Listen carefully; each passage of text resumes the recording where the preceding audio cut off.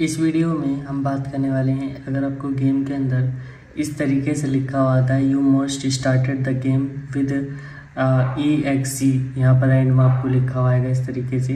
तो बेसिकली क्या दिक्कत रहती है और इसको कैसे हम सोल्व कर सकते हैं, ये मैं आपको बताने वाला हूँ। तो ध्यान से देखिए। देखिए, सबसे पहला पॉइंट क्या आपको लेना है? सबसे पहले, पहला पॉइंट आपको ये लेना है कि आपको फाइल्स देख लेनी है सारी की सारी। तो आपको सारी की सारी फाइल्स देखने के बाद ही प्रोसेस करना है। मैं आपको दिखाता हूँ कि आपको क्या करना है जिससे कि इस तरीके का एरर आपको ना है आपके सेटअप के अंदर। देखिए आपको अपनी जो से आपकी जो फ़ाइल है एक्चुअली में जो अपने जहाँ से आपने ये सब फ़ाइल के अंदर आपको जाना है जेड जेड अचीवर से चले जाइए ठीक है? यहाँ पर वीन आर से ठीक है? उसके अंदर इसे खोलिए और यहाँ पर देखिए कि आपको एक सेटअप दिखाई देगा ये वाला। और कोई सेटअप नहीं दिखाई देगा ठीक है?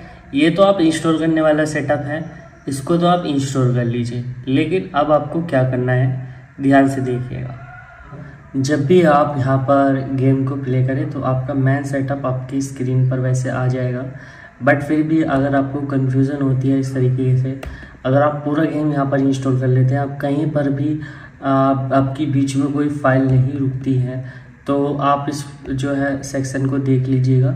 मैन फ़ाइल में जाइएगा। अब यहाँ पर जो हमारा गेम कह रहा है ई एक्स सी जो फ़ाइल होगी, वो यहाँ पर आप खोल लीजिए।